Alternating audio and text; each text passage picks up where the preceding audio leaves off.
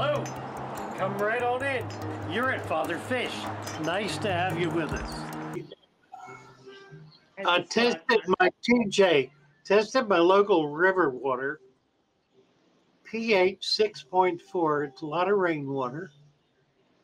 GH 4, KH 11. It's pretty soft water. And live in the mountains. Well, that makes sense. And and you're not getting uh, water running through any um, um, what am I thinking? What's it called?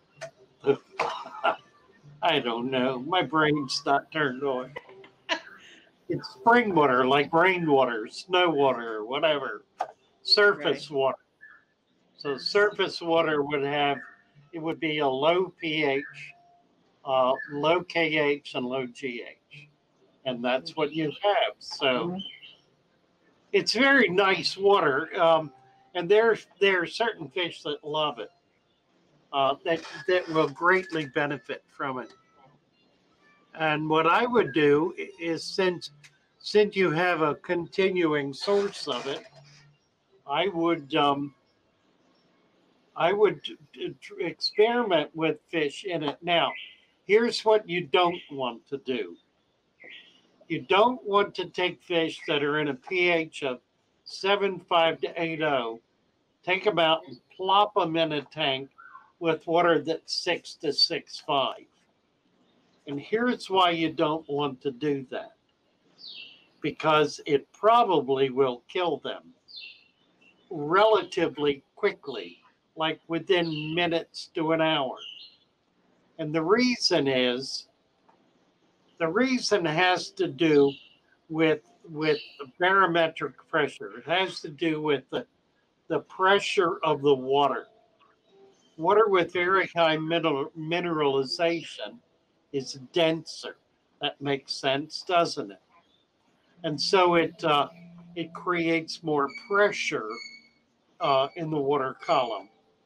Water with very low uh, solubles is much softer, much less pressure. Now, think about the fish. This fish has membrane that are surrounding every single cell, not just the skin on the, on the body, but but each individual cell in that fish has a membrane surrounding liquid.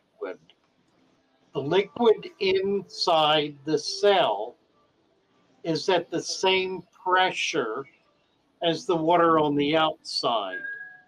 That's water it's been living in for an extended period of time. So let's say that fish is living in water that's 8.0. And we're going to take it out of that and put it in water that's 6.0.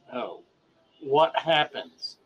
The water is softer, so what does what happens to the liquid in that cell?